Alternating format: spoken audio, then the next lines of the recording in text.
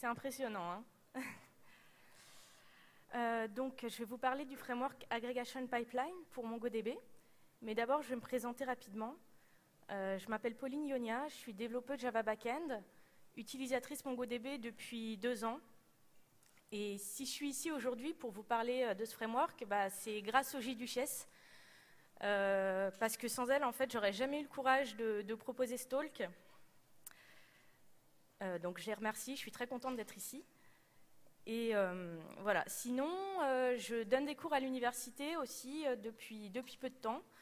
J'encadre un TP de programmation C et un TD d'algorithmique. Et, j'assiste euh, régulièrement à des soirées techniques sur Paris, donc euh, au Paris Jug, euh, au Human Talks, aux soirées organisées par les J-Duchesses, bien sûr. Donc on va rentrer dans le vif du sujet. L'agrégation pipeline, bah, qu'est-ce que c'est? À quoi ça sert? Comme son nom l'indique, ça sert à faire de l'agrégation de données. C'est pour ceux qui sont familiers des bases SQL, ça sert à faire du, groupe by, mais on est en MongoDB. MongoDB, c'est une base NoSQL euh, les données sont, stockées au format JSON dans des documents qui eux-mêmes sont stockés dans des collections. Euh, les collections, c'est l'équivalent d'une table en, SQL. Et le requêtage se fait également au format JSON. Donc pour la fonction aggregate, pour le framework aggregate, comment ça va se passer? Ben, On va appeler la fonction aggregate sur une collection et on va lui passer en paramètre une série de commandes. Chacune de ces commandes va contenir un opérateur clé qui va déterminer son, rôle. Et euh, ces commandes vont fonctionner en pipe les unes par rapport aux autres.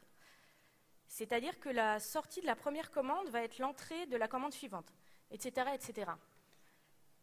Et ça, ça va donner beaucoup de, souplesse au framework. On va pouvoir vraiment euh, peaufiner son résultat jusqu'à obtenir exactement ce qui, convient à notre besoin. Donc pour vous expliquer comment ça marche, on va partir sur un exemple. Et euh, j'ai choisi un modèle de données qui, euh, qui, représente des disques. Donc voici la structure de mon document. Là, je fais un find one, je vois apparaître mon, document. Euh, donc je contiens les informations comme information le nom du groupe, l'année de sortie du disque, les membres. Et on va construire la requête. on va essayer d'obtenir les groupes par artiste à partir de 1960. Donc on va construire cette requête pas à pas. la première étape, ça va être de filtrer les disques qui sont sortis après 1960. Et pour ça, on va utiliser un opérateur, c'est match. Donc match, ça sert à filtrer. Alors là, je suis dans mon contexte Mongo Shell. Euh, euh, j'applique ma, ma, fonction aggregate sur ma collection. Je lui passe en paramètre ma commande match, donc euh, mon opérateur clé et je lui dis, je veux que l'année soit strictement supérieure à 1960. $GT, c'est un opérateur Mongo qui veut dire strictement supérieur. Alors ça, c'est le résultat que j'obtiens. Euh, c'est pas la peine de tout lire. Hein. Juste pour vous donner une idée de, ce à quoi ça ressemble. Moi, j'ai mis en évidence le champ year parce que c'est l'objet de notre requête. Euh, par contre, euh, ce qu'on peut observer, c'est qu'on a beaucoup de bruit, on a beaucoup de champs qui servent à rien. Et on aimerait bien éliminer ces champs pour, euh, se cantonner à, ceux dont on a besoin. Pour ça, on va projeter. On va utiliser l'opérateur project. Project, il permet d'inclure ou d'exclure des champs, d'en insérer, d'en renommer ou d'en créer. Donc, euh, je reprends ma commande précédente avec mon match et j'ajoute mon project qui va s'appliquer à la sortie du match. Je fais members.name 2.1. Ça veut dire que dans le tableau members, pour tous les objets qui sont dans ce tableau, je vais garder uniquement le champ name. Je fais diskname 2.name, je renomme mon champ name en diskname, bend 2.1, je garde le champ bend et j'exclus l'id. Donc quand on project, euh, ça va exclure, quand on, quand on, inclut des champs, ça va exclure automatiquement tous les autres, sauf l'id. L'id, euh, c'est le seul qu'il faudra exclure euh, systématiquement si on n'en veut pas. Alors voici le résultat qu'on obtient. Donc là, c'est un peu plus clair. On a un peu moins de choses, c'est mieux. On a notre champ bend, notre champ members et notre champ diskname qui a bien été renommé dans notre document. Donc nous, je vous, rappelle, on cherche à construire les, groupes par artiste. Euh, donc on aimerait bien grouper sur les artistes. Mais là, ils sont contenus dans un tableau, donc on ne peut pas le faire. Il va falloir qu'on passe par une étape intermédiaire, ça va être d'aplatir le tableau. Et pour aplatir le tableau, on va utiliser l'opérateur unwind. Unwind, qu'est-ce qu'il fait? Euh, on, va on va lui passer un tableau en paramètres Et pour un document qui contient un tableau de n éléments, il va construire un résultat avec n documents. et dans chacun de ces documents, on aura un élément du tableau. Donc, je reprends ma commande, j'ajoute mon unwind que j'applique sur members, et voilà ce que j'obtiens. Donc là, j'ai fait apparaître euh, euh, dans mon résultat deux albums des Beatles pour qu'on voit bien ce qui se passe. J'ai Sgt Pepper et Help, et on voit bien que pour mes, pour mes deux disques, j'ai quatre documents, et dans chacun de ces documents, j'ai chacun des membres des Beatles. Donc maintenant, je vais pouvoir grouper sur mes artistes avec l'opérateur $group que j'ajoute euh, à ma commande. Donc euh, groupe, il faut lui spécifier un ID, c'est le champ sur lequel grouper, et euh, ensuite il faut faire une action. Donc ça pourrait être faire une somme, calculer une moyenne. Nous, on va construire un tableau, un tableau des groupes de musique. Donc on va utiliser l'opérateur $add qui est un opérateur de MongoDB qui permet de créer des sets, et on va l'appliquer sur le champ bend. Donc voilà, là on a, notre, résultat. Euh, dans le champ ID, on a notre musicien, et euh, dans le champ Benz, on a la liste des groupes dans lesquels ce musicien a joué. Donc on pourrait s'arrêter là. On pourrait, mais on ne va pas le faire. On va continuer encore un peu, parce que euh, moi j'ai envie d'améliorer ce résultat, j'ai envie de garder uniquement les artistes qui ont joué dans au moins deux groupes, et j'aimerais trier sur ce nombre de groupes. Donc pour ça, il va falloir que je compte les éléments qui sont dans le tableau Benz. Et comment je vais faire pour, euh, compter les éléments? Bah, Il va falloir que j'aplatisse le tableau, que je, reconstruise mon tableau tout en comptant les éléments. En fait, en MongoDB, on n'a pas d'opérateur qui nous renvoie la taille d'un tableau. Il y a une Jira qui a été créée, mais pour l'instant, on ne l'a pas. Donc on fait comme ça. Euh, et après, je vais pouvoir filtrer sur ce compte euh, et, trier sur ce compte. Donc c'est parti. Je fais mon unwind, j'aplatis. J'ajoute mon unwind sur le tableau Benz. Euh, voilà mon résultat. Donc je vois bien que mon champ Benz a été aplati. C'est plus un type tableau. Je groupe. Donc là, je groupe. Je, reconstruis mon tableau Benz avec mon $add to set. Et en même temps, je fais nbbenz $sum 2.1 nbbenz va être incrémenté pour chaque élément traité par le groupe. Donc voilà, j'ai ma sortie. En ID, j'ai mon musicien, j'ai mon tableau Benz qui a été euh, reconstruit, et mon nbbenz correspond exactement à la taille de mon tableau. Donc, euh, je vais pouvoir trier. Donc c'est parti, euh, je dollar sort, je, je, spécifie mon champ sur lequel je veux trier, je veux faire un tri croissant, donc moins 1, 1, euh, pardon, et ça aurait été moins 1 pour un tri décroissant. Donc voilà ma sortie qui est triée sur NBBenz. J'ai plus qu'à matcher. Je garde ceux qui, qui, euh, qui sont supérieurs ou égaux à 2. Et là, j'ai mon résultat final. Là, j'ai les musiciens qui ont joué dans au moins deux groupes et mon résultat est trié. Donc là, je vais pouvoir m'arrêter, j'ai euh, obtenu ce que je voulais. Maintenant, je vais vous parler de, cas d'utilisation euh, de bonnes pratiques euh, dans le, cadre du, sharding. Alors, qu'est-ce que le sharding déjà? Bah, Le sharding, euh, c'est voilà. Donc là, j'ai les, les, deux configurations. En haut, j'ai une configuration qui n'est pas shardée, et en bas, j'ai une configuration de MongoDB qui est shardée. Donc en haut, on est sur un serveur, notre Mongo est sur ce serveur, et on a notre collection sur un seul serveur. Et en bas, on voit qu'on a, plusieurs serveurs, plusieurs shards. Et notre collection, qui est très volumineuse, va être répartie sur ces shards. On va avoir des, morceaux de collection sur, euh, chaque shard. Donc ce qui va se passer quand on va requêter dans un environnement shardé, c'est que les requêtes vont être exécutées sur chacune des shards et le système va reconstruire un résultat. Donc, euh, une bonne pratique à faire quand on utilise Aggregate dans cet environnement, c'est de mettre l'opérateur $match en début de requête. Pourquoi? Parce qu'on a des chances d'exclure des shards. Et ça va permettre euh, euh, à notre aggregate d'exécuter sa requête plus rapidement. Alors, le cas des index. aggregation pipeline et les index, alors comment on peut optimiser?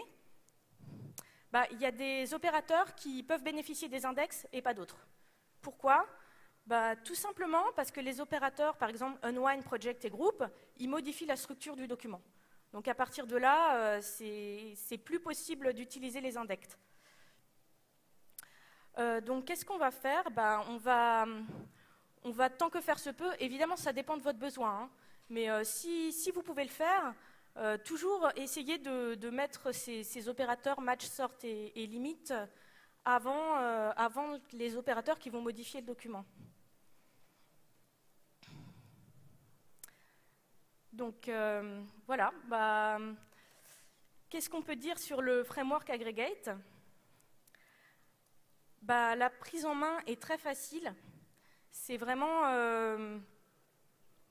Euh, là, on a construit un exemple très rapidement, c'est très intuitif. Euh, le requêtage se fait en, JSON avec les opérateurs MongoDB.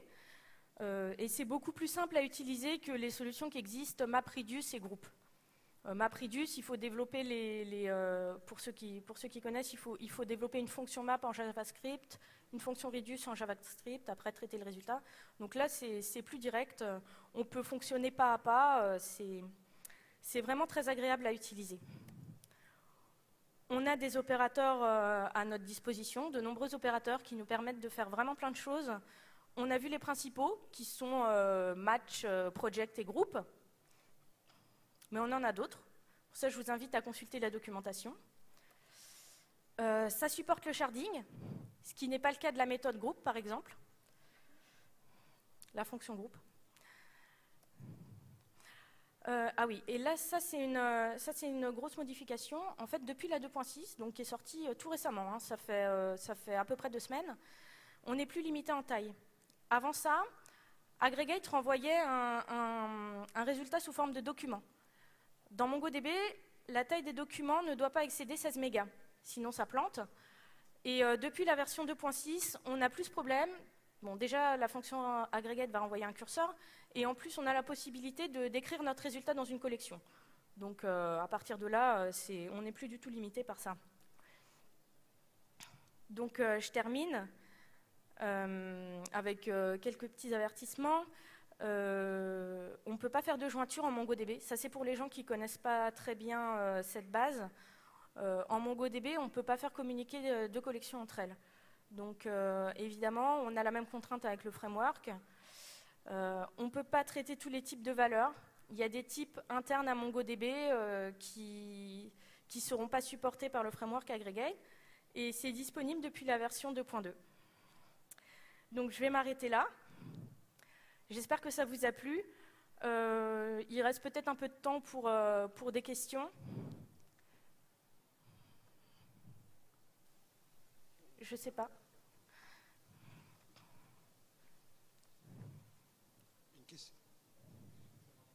Une question, par rapport au sharding.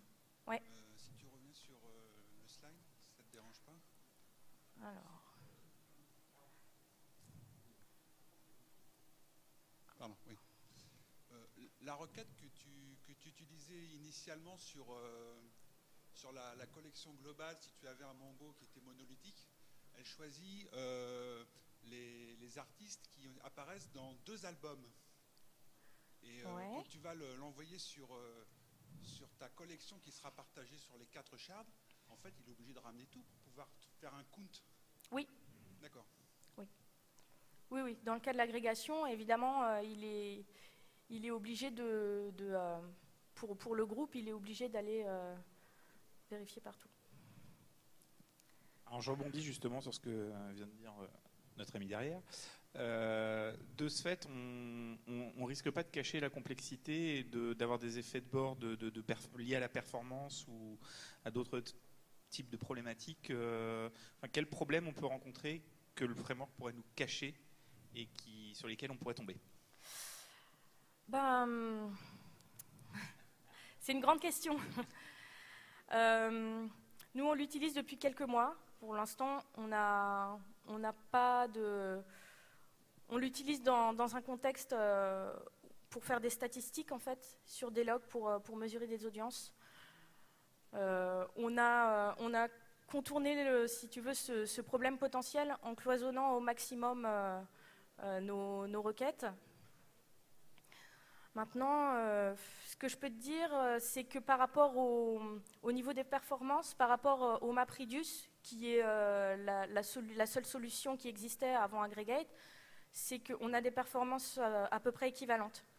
Il y a un blog, il y a un blog MongoDB là-dessus. Il suffit de rechercher MapReduce versus Aggregate et, il y a plein d'explications.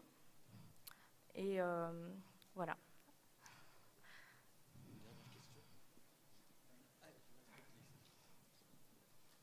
Est-ce que les, clients euh, Java euh, type Django ou Spring Data euh, peuvent permettre d'attaquer le framework d'agrégation et d'exprimer des requêtes et de récupérer les résultats renvoyés par le, framework? Bah, Complètement. alors Django, il est fait pour ça. Il est fait pour... Sa raison d'être, c'est d'attaquer la, la, base Mongo. Donc oui, oui, c'est... on peut utiliser ces frameworks-là. Merci.